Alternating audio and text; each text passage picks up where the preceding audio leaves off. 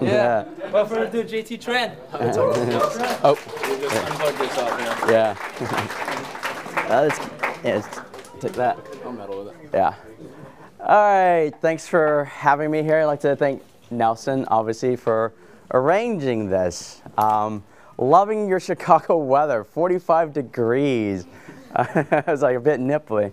Um, so, let me talk about me. My favorite subject is me. Um, who here knows, who here has heard of me before or knows about the community? A few people, maybe like a quarter. Actually, a pretty good number. Um, I sucked with women, all right, just right from the get go. Um, I kissed my first girl when I was 20. I got laid when I was 20 years old. For 20 years, I'd never seen a girl, like a real girl's breasts or anything like that. And so I studied aerospace engineering. Who is in engineering?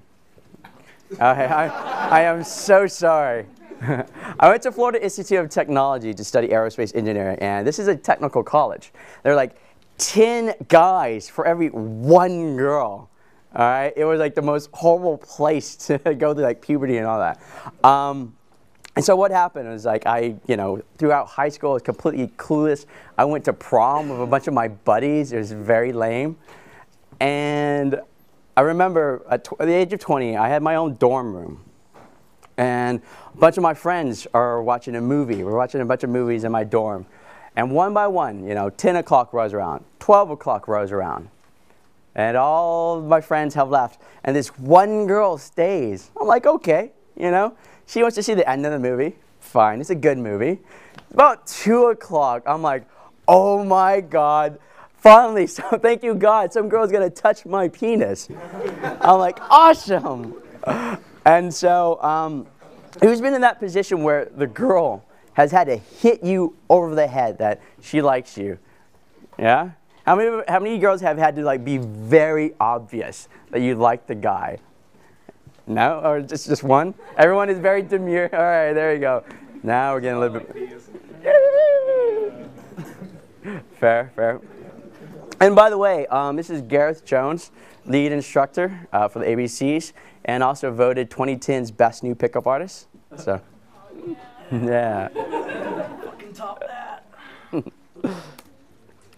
Um, let's talk about the real reason why men get into the game.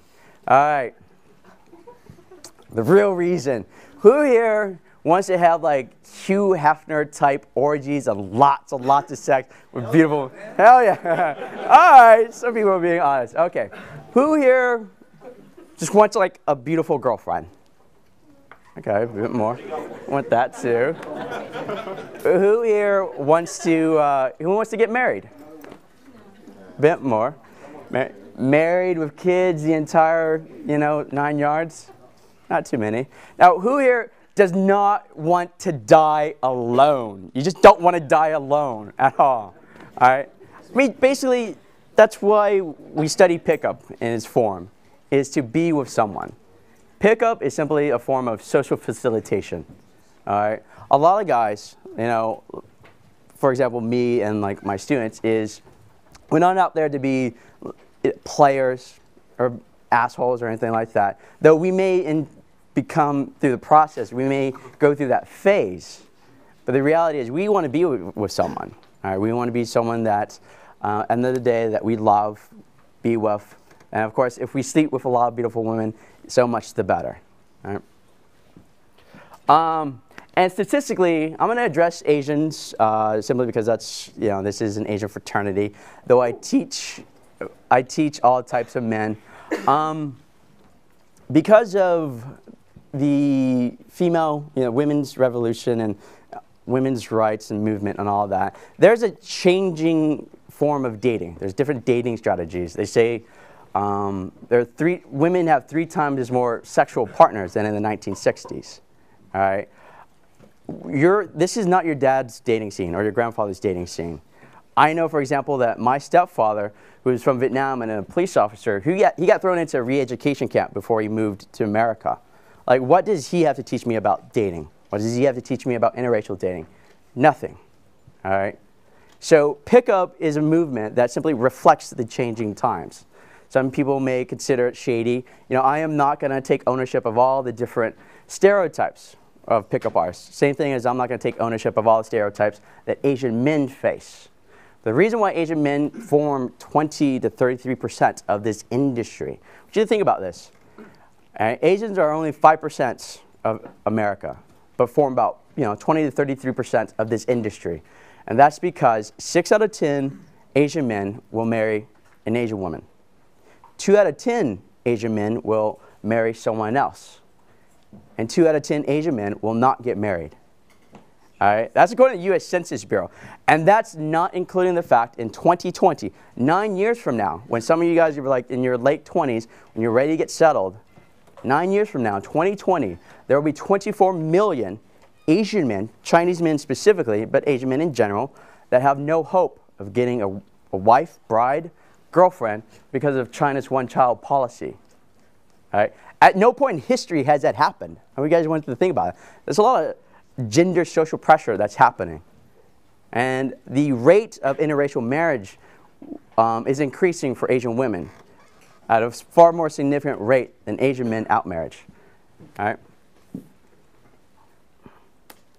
Um, so basically, how I got into this.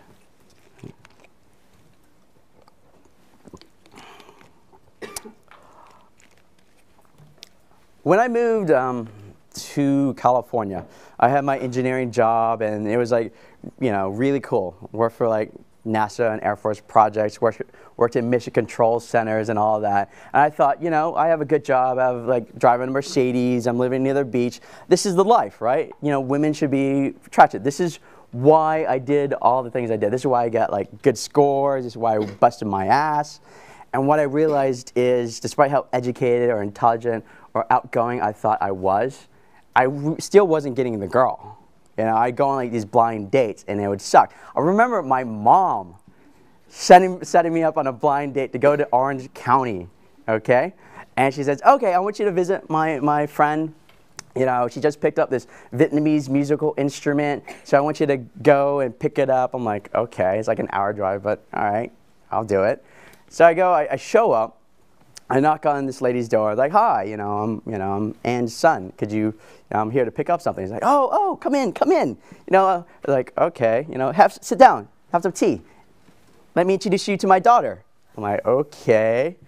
Um, so I'm sitting, and you know, she conveniently disappears for like 30 minutes, like you know, shuffling for stuff. And I'm like, okay, you know, this is obvious. And I'm like talking to her, and I'm like, oh, so what do you like to do for fun? It's like nothing. Do you like to read? No. Do you like to go out? No, I just stay home with my mom. I'm like, this sucks. so it was like this bad day after bad day. And like the girls that I liked didn't like me, and I couldn't figure it out. I couldn't figure out what was going on, you know? Because I thought I, I had it all, right? I was working out, living near the beach, good job, good car, all that. Um, and so I got into community in January of 2004. Who's read the game? Yeah, a few people. Um, I was there for part of it. I was, you know, the entire kind of mystery in Neil Strauss. And I started in January 2004. And for me, as an engineer, I had no moral or like kind of uh, compunction against learning this. As an engineer, I was like, okay, there's a problem. Let me research the problem, find a solution, and apply it until something works. And that's what I did. And I got through like some of the worst experiences. I'm gonna tell you like um, later on, like the night I went home and I cried. That was like how bad my rejections were. I mean, I mean, honestly, guys, I'm five foot five. I'm not that good looking, and so a lot of women have rejected me. At a certain point, you know, you just learn to accept that's what it is and move on. To be able to better your chances, all right, to stack the deck in your favor. But the reality is, a certain level, this is a numbers game. This is Beyond that, though, it's about bettering yourself. Bettering yourself to get women, but just being happy with what you have once you have it. Um, and one thing I realized with, with my students is every time they see me, they're always pretty happy to see me. I think, okay, it's because I'm like the man or whatever. But the reality is, I remember um, the first time I went to Chicago, I had a one on one student. And it's like on the last day, he's driving me to the airport. And he's like, oh, JT, I was so glad that when I saw you, I was so happy. I'm like, all right, yeah, cool. I'm, I'm cool, right? It's like, no, man, I, I saw you. I was so happy that you're unattractive because if you could do it, I can do it. I'm like, thanks. I felt kind of bad, but you know. all right, all right. If it, it, it boosts my students' self-esteem, fair, fair, whatever. Um, but my first real student was actually up in Toronto when a mother called me up uh, out of the blue. It wasn't a guy. My first real client was a mother. All right. Her son had been harassed in high school by neo Nazis. All right. And so he was very just had never gone on a date. And she asked me to be like the big brother that he never had. I'm like, cool. You know, I get to fly up to Canada. It's like awesome. And then she's like, and I'll pay you. I'm like, even awesomer. So um, he ended up getting his first date, which is really cool. But one thing I realized is it, it's not about picking up women. It's about bettering yourself as a man. And in that process, it's meeting your fears, conquering your fears. Because I, I, I, remember reading, I guess, um, on the Facebook group, a couple guys, I don't remember who, was saying like they're scared of rejection, uh, that terrifying experience. And I'm going to tell you, it's okay. There's nothing wrong with being rejected. You know, that gibbering monkey of fear on your back is a voice that you have to learn to ignore. Uh, so this is some before and after pics. so yes, that's me. and this is me a little bit after. um, and this is, you don't know, who's been to my website and my blog, my website? All right. Um, if you go to like various various of the, the dating websites, you know, you, they have obviously pictures of beautiful women, you know, sex appeal and all that. And it's obvious these pictures are stock photos, right? They bought the rights to it to use it.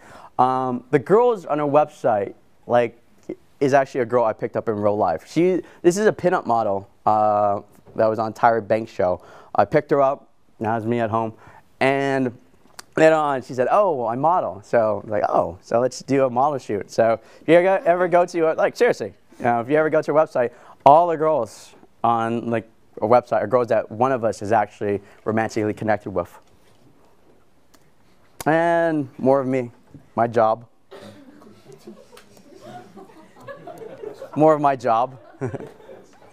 no, basically, that's one of the things is so many guys, it doesn't matter if you're Asian or you're short, you're unattractive, whatever, is the ability to see someone like you, someone even maybe worse off than you, be successful. Because again, guys, you know, if I can do it, you can do it.